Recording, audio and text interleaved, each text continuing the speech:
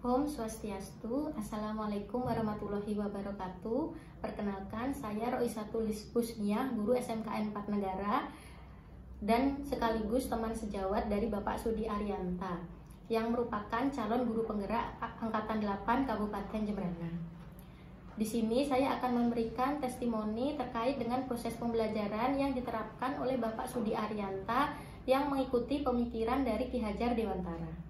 Menurut saya, selama ini Pak Sudi Arianta sudah menerapkan pembelajaran dengan pemikiran Ki Hajar Dewantara tersebut.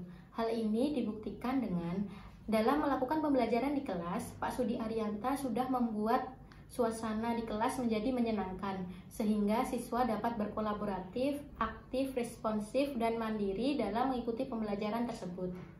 Selain dalam pembelajaran di kelas, Pak Sudi Arianta juga menerapkan hal ini di pembelajaran di luar kelas.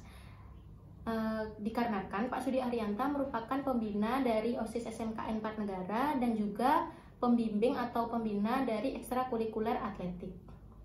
Demikian testimoni dari saya. Sukses selalu dan tetap semangat untuk Pak Sudi Arianta dalam mengikuti calon guru penggerak Angkatan 8 Kabupaten Jembrana.